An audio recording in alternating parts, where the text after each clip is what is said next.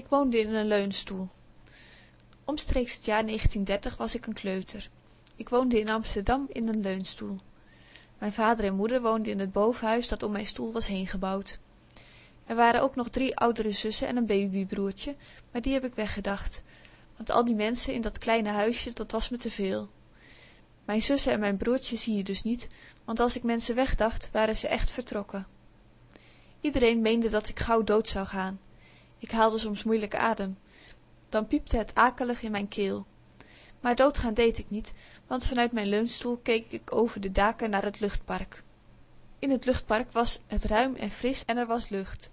Veel lucht. Het was maar goed dat het luchtpark zo dichtbij was. Als mijn ouders ervan hadden geweten, waren ze misschien niet zo ongerust geweest. Ik was een paar keer zo benauwd dat ik bijna stikte.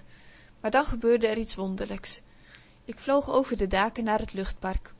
Het was daar zo luchtig dat ik er helemaal van bij kwam. De bomen zaten vol kleurige vogels en ik reed er rond in een bokkenwagen. Mijn vader mende de bokken en ik zat naast hem, onder een wapperende vlag, want in het luchtpark stond altijd een frisse wind. Maar meestal voelde ik me heel gewoon. Dan hoefde ik niet naar het luchtpark. Dan was ik gewoon thuis, net als de kleurige vogels. Die woonden in een volière en droegen mooie namen.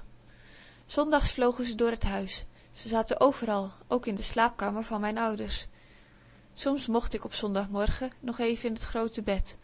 Ik luisterde naar mijn vader die op de viool speelde. Mooi hè, Josephine Beker, zei ik dan, want Josephine Beker was mijn onzichtbare vriendin. Ja, zuchtte Josephine Beker, want die was het nogal vaak met me eens. Soms verhuisde ik van mijn leunstoel naar het buitenhuis. Dat was onder het bureau van mijn vader. Mijn buitenhuis stond in China. Dat kwam door het Chinese behang in mijn vaders werkkamertje. Ik was gelukkig niet alleen in dat verre land. Josephine Beker was er, Hein Vioolkist was er en mijn vader was er ook altijd. Zelfs als hij er niet was, onzichtbaar, maar ik rook hem, als sigarenlucht. Heel in de verte, in Japan misschien, hoorde ik mijn moeder liedjes fluiten. Dat was heel wonderlijk, want andere moeders floten nooit. Op vrijdag moest ik altijd verhuizen, want dan werd het huis schoongemaakt. Alles werd van zijn plaats gesleept, mijn leunstoel ook. Ik ging naar het portaaltje. Mijn beer keek wel eens in het trapgat van de buren. Hij liever dan ik, want het was daar diep en donker. De trap naar boven, dat was onze trap. Hij ging naar de zolder. De derde tree was mijn tree. Dat was verreweg de beste tree. Niet te hoog en niet te laag, en hij liep van heel breed naar heel smal. Dat is het allerbeste voor een tree. Mijn vader bracht vrijdag altijd taartjes mee. Dat was nogal mal eigenlijk, want taartjes waren voor verjaardagen, maar hij bracht ze elke vrijdag mee, omdat iedereen zo hard gewerkt had. Het middelste taartje was het leukste. Er zat sterke drank in, dus dat mocht ik niet. Ik ging met een ander taartje naar de trap en er daarop, op mijn tree, samen met Josephine Beker natuurlijk. Ik heb één keer op het dak van ons huis gestaan. Eén keer maar, en toch vloog er meteen een vreemd voorwerp door de lucht, een zeppelin. Echt waar. Trouwens, alle andere keren dat ik naar boven keek, stond er met grote letters Turmak in de lucht geschreven. Het was gevaarlijk op het dak, vooral door dat woud van radioantennes. De buurvrouw is er een keer in verstikt geraakt en verloor toen bijna haar hoofd. Als je de deur uitging, kwam je al gauw in het Westerpark. Dat was een slecht park, de bomen deugden niet, de appels zaten vol gif en de vruchten van de esdoorn fladderden gemeen.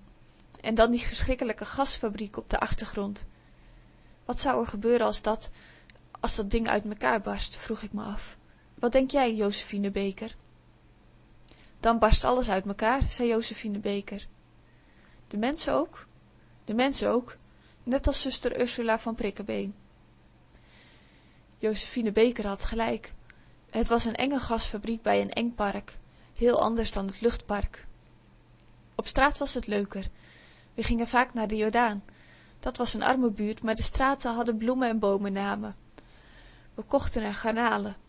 De garnalenpelsters zaten op de stoep voor een huisje razendsnel garnalen te pellen. Het waren sprietige, schele beestjes, die garnalen, maar het was gezellig om in de Jordaan te zijn. Ik werd er vrolijk van. Mijn tante woonde in de Goudsbloemstraat. Ze bezat een interessant kropgezwel. en een grammofoonhoorn om mee te luisteren en een kaketoe. Ja in de jordaan moest je wezen. Er was op straat zooveel te zien. De vrouw van de zuurkaars schreed als een koningin voorbij. Ze riep uitjes in het wijnazijn komkommer een centje maar. Dan was er de draaiorgelman met de man zonder beentjes die het geld ophaalde de hoedendoozenman bedolven onder leege hoedendoozen die hij verkocht. De straatzanger die jammerlijke kreten slaakte en die je beloonde door een ingepakte cent uit het raam te gooien. De man met de ratel die voor den vuilniswagen uitging. En verder werd iedereen de heele tijd begraven in heele mooie koetsen. De paarden droegen zwarte jurken en de vogeltjes waren dankbaar voor de paardenvijgen. Soms was het op straat ook droevig met kerstmis sloeg iedereen hazen konijnen kippen en ganzen dood. Ze werden gevild en geplukt. Hazen en konijnenvellen schreeuwde een man achter een kar want de vellen werden verkocht. In een smal straatje werden vogels geplukt door poeliers de heele straat zag wit van de dwarrelende veeren alsof het sneeuwde en overal lagen dooie bloote dieren te koop. We gingen ook wel eens uit. Mijn moeder nam me een keer mee naar een zaal waar clowns optraden de fratellini heetten ze. Ze waren zoo gruwelijk eng.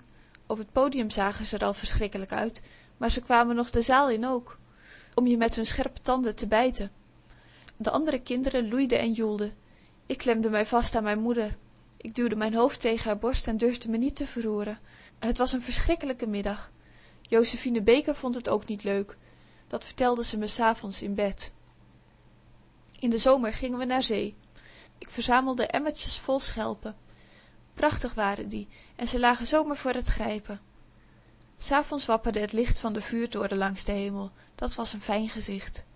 Alleen de maan deugde niet. Die was soms zo groot en rood dat het leek alsof hij in brand stond.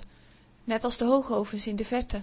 Dat klopte niet. Zoo hoorde de maan niet. Dat was duivelswerk. Toen mijn vader een auto had gekocht reden we heel af en toe de stad uit het linnen dak van de auto flapperde. Eenmaal buiten gingen we met z'n allen in het gras zitten. We hadden eten en drinken bij ons. Dat was heerlijk. Mijn zussen begonnen meteen sinaasappels te eten. Er waren geen andere menschen alleen boomen waarop eens sinaasappelschillen aan groeiden en bloemen. Heel veel prachtige bloemen. Hoe kon het toch allemaal? Het kwam allemaal zomaar uit de grond zetten. Je hoefde er niet voor naar de winkel je kon ze zelf plukken heel in de verte zag je de stad. Zoo ver weg en zooveel te zien ertussenin dat je al moe werd van het kijken alleen. S avonds in bed keek ik nog lang naar buiten. Wat zal ik doen josephine beker? vroeg ik. Zal ik me klein toveren in het plantenbehang?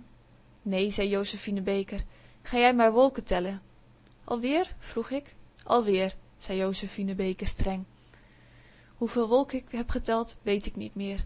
Misschien wel zeven ik sliep al gauw en mijn pop ook.